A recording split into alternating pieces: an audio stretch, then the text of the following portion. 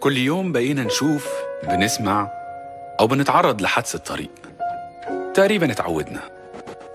بس هل تعرف حجم المشكلة وصل لفين؟ أكتر من 12 ألف وفاة في السنة نتيجة تصادم على الطرق المصرية. أكتر من 50 ألف مصاب أو معاق بسبب حوادث الطرق. كل يوم 30 من أحبائنا بيموتوا على الطريق. يعني في خلال الأربعين دقيقة اللي جاية. واحد زيي أو زيك. هيموت له بنت هيفقد ابن هيتصاب له أب أو أم بدون داعي. 42 وفاة لكل مئة ألف مصري من أعلى المعدلات في العالم.